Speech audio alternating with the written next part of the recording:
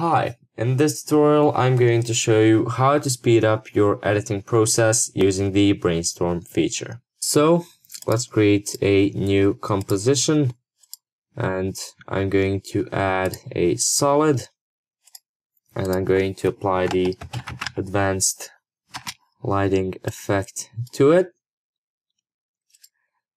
And I could spend a lot of time trying to adjust each setting individually until I get the desired effect.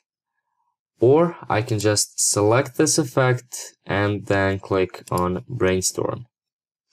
Then I'm going to change the randomness to 50%. And then I'm going to click on this button a few times until I get a nice lightning. So I like this one, but I want to experiment with it a bit more. So I'm going to click on include in next brainstorm, and then I'm going to change the randomness to 10. As you can see, when we use a lower randomness number, um, we get more subtle changes. So let me take a look at this one and it looks good. So I'm going to click on apply to composition. You can also click on save as new composition.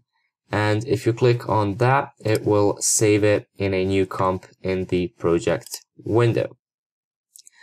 So as you can see, I got a really nice lightning effect. I could have spent a lot of time trying to adjust each setting individually to get this, but instead the brainstorm feature helped me do that a lot faster. So be creative with this tool and I hope that it will help you with your projects. If you enjoyed this tutorial and you would like to see more, then please subscribe. Thank you for watching and see you next time.